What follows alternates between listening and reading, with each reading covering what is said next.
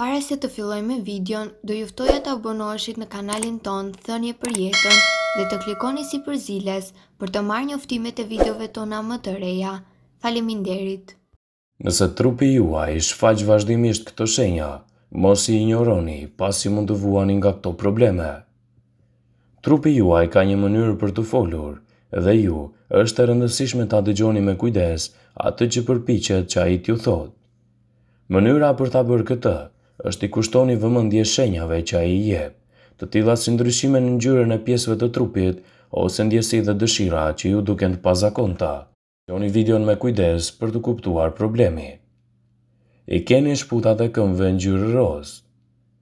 Kompanitë e locioneve për krem shpesh premtojnë se nuk do të keni këmbët e fëmijëve, por nëse keni vërejtur që këmbët tuaja janë vërtet rozë dhe lëkura duket e hollë dhe e rrudhët, duhet të bëni një test të gjakut. Për të kontrolluar nivelet e sheqerit në gjak, kjo simptomë mund të tregojë probleme metabolike, duke përfshirë këtu edhe diabetin, prandaj është e rëndësishme që të mos neglizhohet. Ndjesi përqafimi ose shtrëngimi. Përqafimi nuk është gjithmonë i mirë. Nëse ndonjëherë ndiheni sikur dikush po ju përqafon shumë fort ose ju lidh rreth belit, trupit ose këmbëve. Duhet të bëni disa analiza për të përjashtuar rrezikun e prekjes nga skleroza e shumëfishtë. Mund të keni ndjesi të pakëndshme në duar dhe në këmbë. Mund të ndjeni sikur vishni doreza ose këpucë të rënda. Ndjenja mund të ndryshojnë nga irrituese në shumicën e dhimbshme, prandaj duhet t'i kushtoni vëmendje. Vetullat e holla. Nëse vereni se keni vetulla të holla dhe ato bëhen gjithmonë akoma më të holla, duhet të vizitoheni tek një mjek dhe të bëni kontrolle të tiroides. Kjo mund të jetë një nga simptomat e hipotiroidizmit ose ulja e funksionit të gjëndrës tiroide. Mjeku që duhet është endrokrinologu, i cili do të bëjë analizën e duhur të shëndetit tuaj. Gishtërinjtë dhe këmbët e fryra. Edhe nëse keni lëkurë të pastër, pa acarime, pa kruajtje, por gishtërinjtë tuaj janë të fryrë, diçka nuk shkon si duhet. Simptoma mund të sinjalizojë artritin psoriatik. Mjeku që duhet të vizitoni është dermatologu ose reumatologu.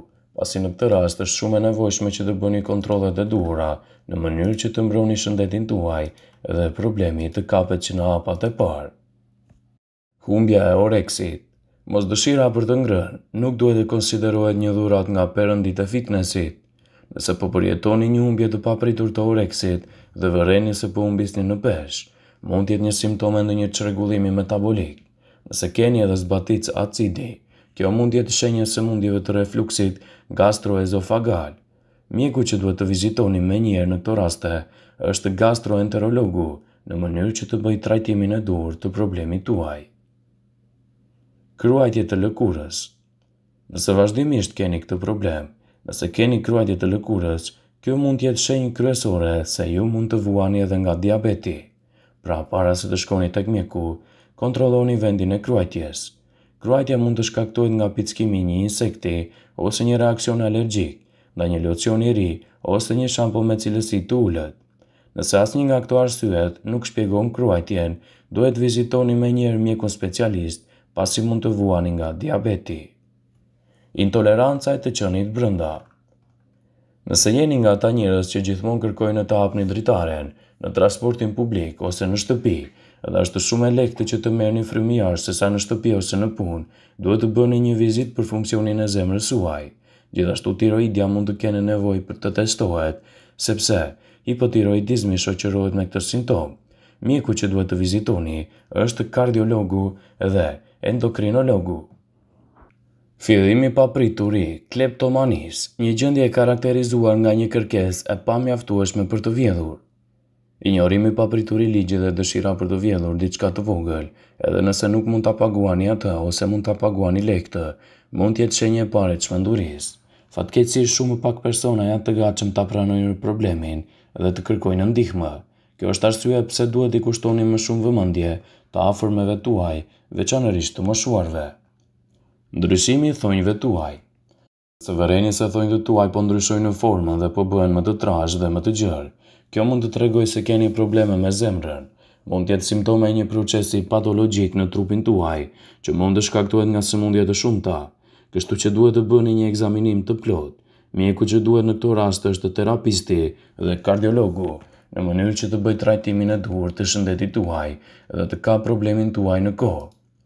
Pasi ta dëgjonit këtë video, do ju ftoja t'i bënit like dhe ta shpërndanit dhe atë në profilin tuaj, në mënyrë që të informohen dhe miqtë e tu. Lëkura është organi më i madh në trup dhe si i tillë, është çdo ditë në kontakt me faktorë të jashtëm. Dëmtimet e jashtme mund të shkaktojnë probleme me dhimbje, dhe shqetësimi i vërtetë lind kur shenjat e kanë origjinën nga brenda trupit. Kur organizmi ka mungesë dhe nuk funksionon si duhet, lëkura jep sinjalet që duken dhe janë shumë të ndjeshme. Mjekët dermatologë shpjegojnë se sëmundjet autoimune janë të parat që kërkojnë ndihmë dhe shfaqen në lëkurë. Për këtë, në këtë video do të tregojmë sinjalet më të zakonshme që trupi dhe lëkura juaj mund të sinjalizojë nëse keni këto probleme. Psoriaza Ndër shembujt më të njohur të plagëve të lëkurës, që nuk vijnë nga dëmtime të jashtme, është sëmundja e psoriazës. Kjo sëmundje lë njolla të kuqe, të bardha dhe gri në lëkurë. Zakonisht ato shfaqen në zonat e barkut, të duarve dhe të këmbëve. Mjekët thonë se Personat e prekur nga psoriaza e lëkurës, në njëzet për qind të rasteve, mund të zhvillojnë edhe sëmundje siç është artriti reumatoid. Kjo mund të lidhet edhe me sëmundje të tjera siç janë lupusi, skleroderma dhe probleme të tjera dhe sëmundje të tjera të lëkurës. Këto sëmundje i japin shenjat e tyre drejtpërdrejt në lëkurën tuaj dhe nuk duhet t'i neglizhoni, pasi mund të shkaktojnë dëme vërtet të mëdhaja në organizmin tonë. Lupusi Lupusi është një formë e famshme autoimune që shfaqet e para dhe jep në lëkurë kryesisht shenjat kryesore në shenjën e barkut. Simptomat që jep kjo sëmundje janë të lëkurës dhe irritime të hartave të mëdha të kuqe. Zhvillohet sëmundja e lupusit, mund të prekë edhe organe të tjera siç janë veshkat, mushkëritë dhe zemra.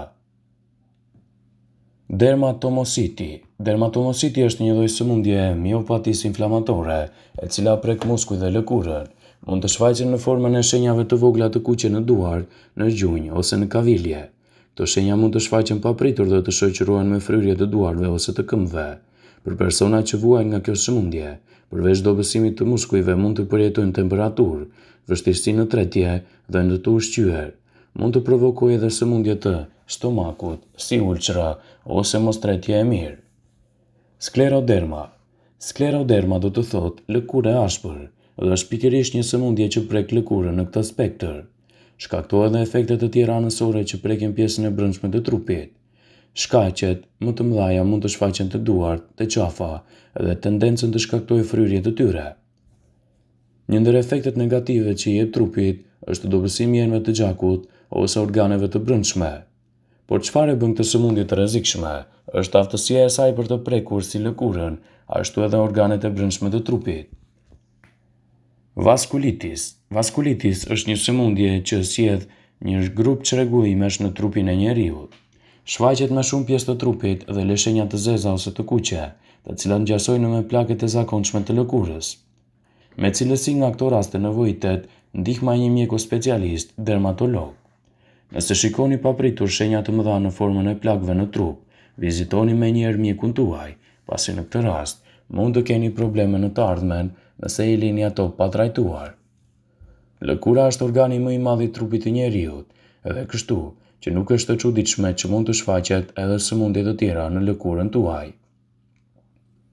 Hartimi i një liste për çdo simptomë të lëkurës në çdo sëmundje të brendshme do të ishte e vështirë, por nëse keni këto shenja në lëkurën tuaj, ju mund të kuptoni se shumë probleme serioze në lidhje me shëndetin tuaj janë prezente. Kruarja Kruajtja e vazhdueshme mund të jetë një nga shenjat e limfomës. Ky është një lloj sëmundje që prek qelizat e brendshme të gjakut, të quajtur limfocite, dhe simptoma më e zakonshme e sëmundjes janë nyjet limfatike të zgjeruara në qafë, në sqetulla ose në ije, dhe kështu tregohuni të vëmendshëm. Lëkura më e trashë dhe e errët. Disa njerëz me diabet mund të kenë lëkurë të errët ose më të trashë në pjesët ku paloset lëkura.